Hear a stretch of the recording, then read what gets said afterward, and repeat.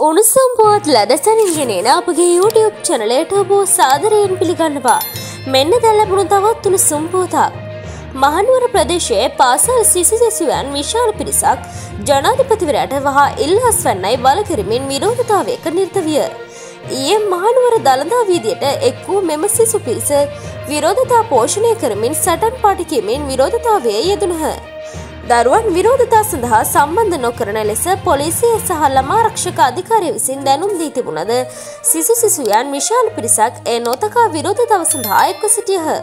පාසල් සිසු සිසුයන් මෙසේ උද්ඝෝෂණයට සම්බන්ධ වූයේ එදදාස් සම්සය අසු නමෙන් පසුවීම විශේෂත්වයකි.